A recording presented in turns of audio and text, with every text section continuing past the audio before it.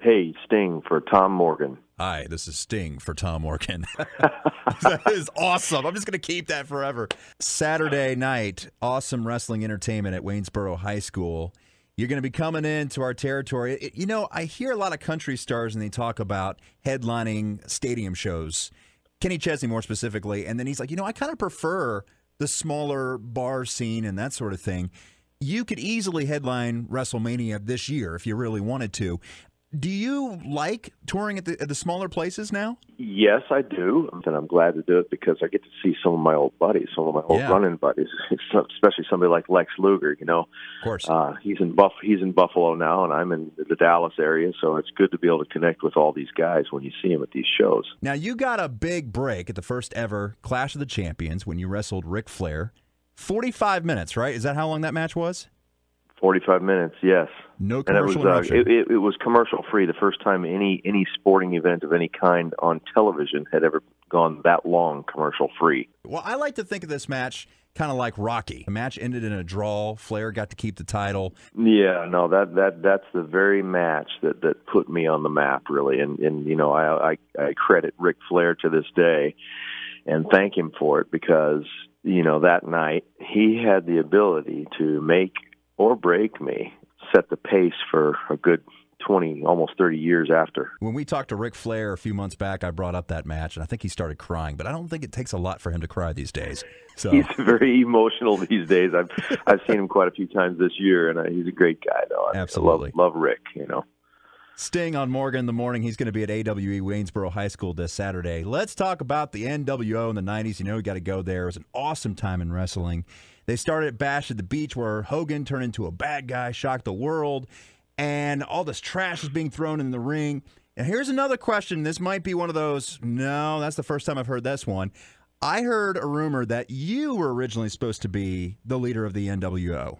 Well, that's such a common question, and Okay. and I honestly that there are things that I have forgotten, and so, uh, but I do not, I do not remember ever, you know, being put in that position Gotcha. ahead of the NWO, uh, especially in those days. You know, Right.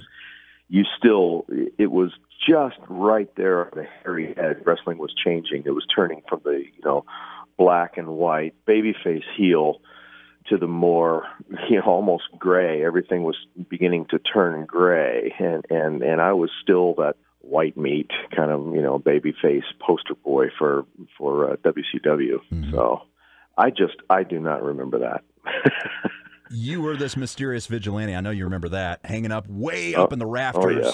I don't know how you did that, honestly. my sphincter was tight every single time I did it I promise you Oh my my gosh. sphincter muscle Yeah. um yeah no it it was uh i could tell you stories and and uh you know unfortunately the the tragedy that happened with Right. owen you know i some of the stories i i probably shouldn't shouldn't tell Sure. but i mean if if if people knew what was going on up there Yeah. on a, a handful of occasions. Uh, oh my gosh! I mean, you know, I put it this way: I, I was close, close to having a, a, a fatal accident one night. Mm. Uh, Chicago at the UIC Pavilion, Mhm. and uh, you know that that was uh, wow. I mean, I'm I'm sweating right now telling you the story, and uh, and then you know coming out of a helicopter, and you got a Vietnam uh, vet who's a who's a pilot who says, you know, Sting by if some chance uh, your rope or your your cord gets caught up in my blades, I'm gonna have to cut you loose. You know, Oh my gosh. and, um, you know, and I kind of chuckle a little bit, and Right. and he's looking at me with these cold eyes. I'm like, okay, you're not joking, are you? No way. I mean, I'm thinking, you know, if, if it gets caught in the blade, we're we're both going down. But you know, Right. I guess he had a he knew that he, if he cut me loose somehow, he'd at least save himself.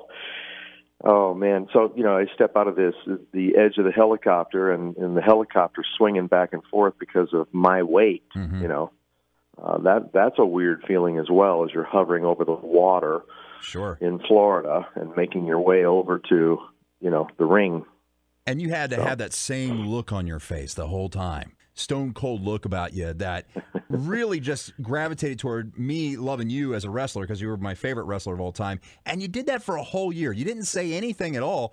Now, correct me if I'm wrong. Did you wrestle at all during that time period, or were they just building your character? There, there was just a build of the character the whole way through. I mean, Yeah. I was physically involved just Sure. about every single night, but not actual wrestling, Wrestling, yeah. matches. No, I didn't wrestle until that Starcade match against Right. Hogan. Yeah, and I bet what, did it feel great to be back in the ring once you finally got to do that? Heck yeah, man. I mean, that's that's what it's all about. Now, let's talk about the present. You know, we're seeing guys like The Undertaker wrestle more and more. Shawn Michaels coming out of retirement. I know you get this question so many times. And I know that you had a very bad injury a few years back. I know that. But do you think, I know you want one more match. That's one thing. But do you think you have one more match left in you? Do you think WWE will allow that? Do you think the doctors will allow you to have that?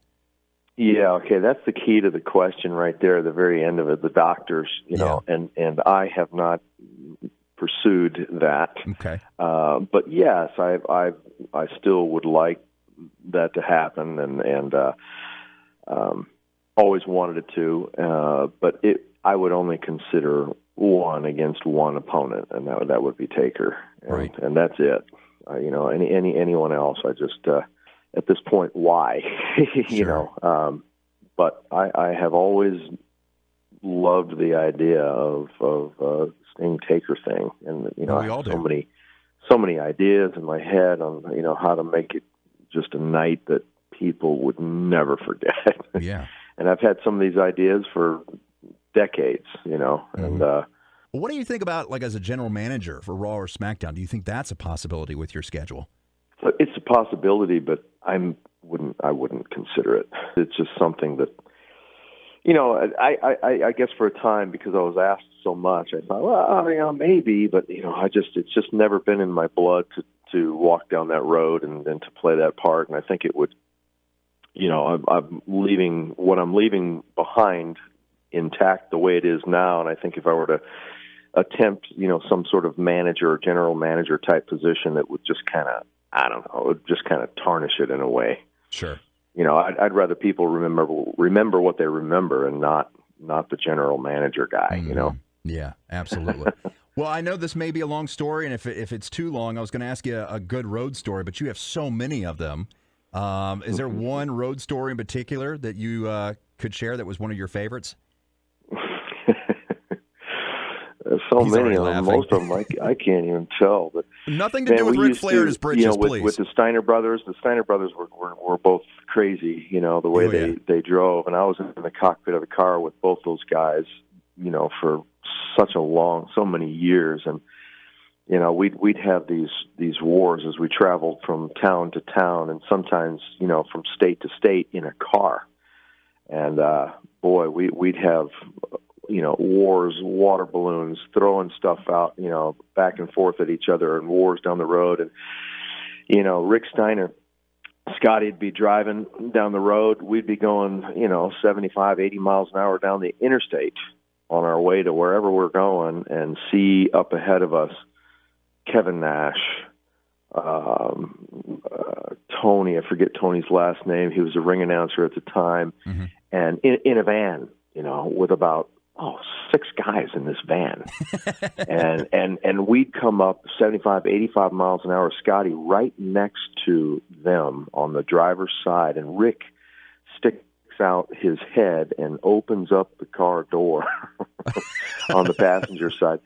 Um, uh, you know, and these these guys are screaming, and you know, at night uh, on another trip, we're bumping them from behind, and you can see Kevin Nash and and Rick Rude kind of ducking down low because they don't know who it is. They think it's you know somebody with guns or whatever. And Yeah. It, I can remember being at the uh, Mall of America in Minneapolis with again Rick Steiner driving, Lex Luger's in the car, Tom Zenk, Brian Pillman. I mean, these are Mhm. names yeah. um, Scotty Steiner.